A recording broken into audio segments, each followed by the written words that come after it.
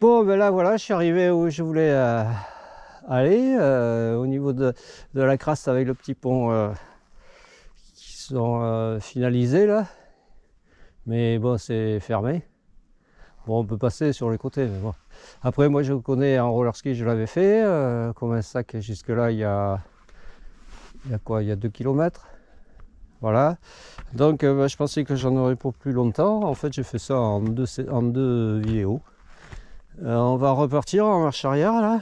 Enfin, en- au retour, oh, sans retourner. On va aller jusqu'où je et on va... On se faire la portion euh, d'entraînement, d'échauffement, la portion de route dont je parlais.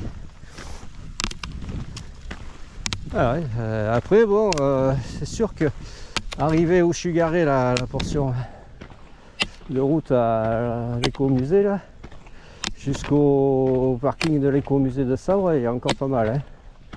Déjà, il y a la portion de route euh, qui fait 800 mètres à peu près, et après, il y a au moins euh, 3 km jusqu'au parking euh, de l'écomusée de Sabre. hein. Alors 3 et 2, 3, ouais, 4. Là j'ai dû en faire 3, 6 et 2, 8, ouais. ouais.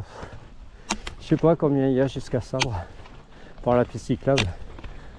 Je pense qu'il y a plus que par la route, comme un sac Sabre, il y a 10 bornes.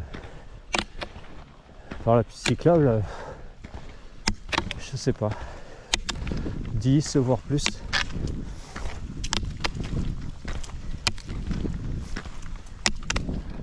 Allez